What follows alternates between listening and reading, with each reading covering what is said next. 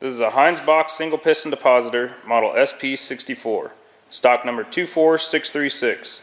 Sold clean running shop tested by BakeryEquipment.com to another valued customer in Florida.